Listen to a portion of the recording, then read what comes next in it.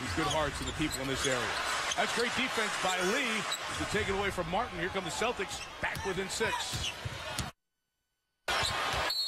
As surgery lost him for the year, and Rondo, KG missing time.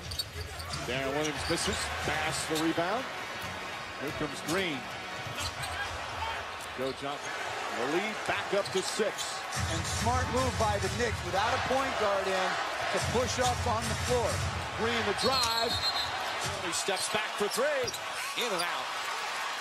Garnett with his ninth rebound already.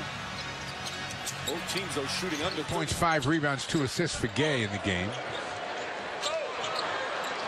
Jeff Green comes away with it. He's got six points and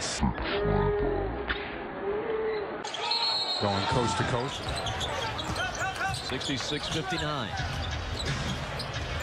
Taken away by Green.